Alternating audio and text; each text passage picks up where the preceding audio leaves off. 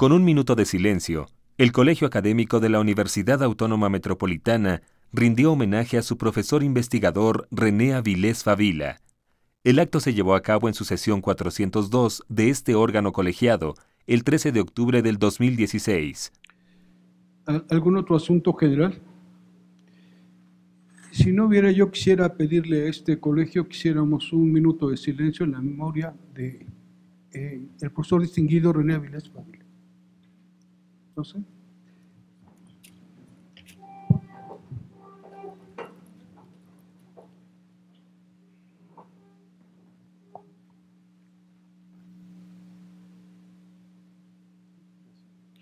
Bien, muchas gracias. Nos vemos en la siguiente sesión del Colegio Académico.